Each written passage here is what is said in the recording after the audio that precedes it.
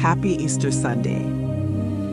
On Easter Sunday morning, several women, including Mary Magdalene, Mary the mother of James, and Salome, went to the tomb where Jesus had been buried.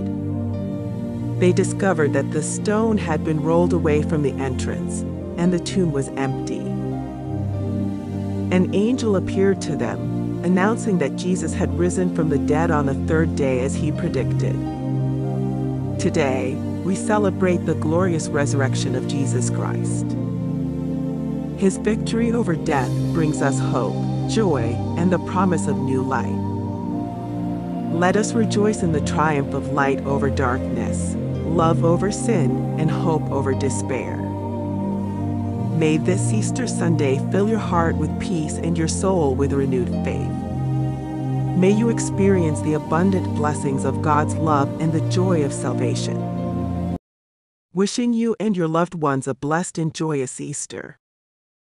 And we thank you tremendously for following this series on the week of Easter Holy Week. God bless you all.